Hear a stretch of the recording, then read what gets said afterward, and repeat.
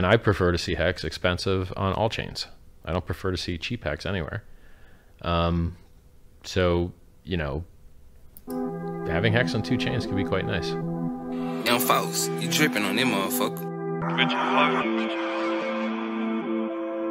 Richard Heart. Bought my hex from the fucking start. Hex does have a point of failure. You know what it is? Gas fees. It's required. It runs on the Ethereum network. That's its point of failure. I did find it. I didn't like it at the beginning, and it did turn out to be a problem later. But that's Hex's only point of failure. Being realistic here. Yes. Now, Now I'm checking on my pulse just to check my heart. Bought my hex from the fucking start.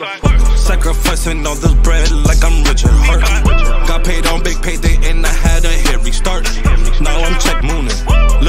they be choosing.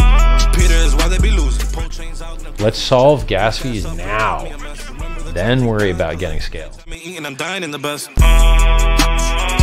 Getting this back like a year ago. Getting this post, I ain't letting go. Swerving the ring like a Lambo. Getting this back like a year ago. Getting this post, I ain't letting go. Swerving the ring like a Lambo. The SLID fees will be the same. However, the gas cost to pay for those fees will be way, way, way, way, way, way, way cheaper. Now I'm checking on my pulse just to check my heart. Buy my hex from the fucking start. Sacrificing all this bread like I'm Richard Heart. Got paid on big payday and I had a hairy start. Now I'm checking on my pulse just to check my heart. How much are high gas fees hurting hex price? It's hard to know.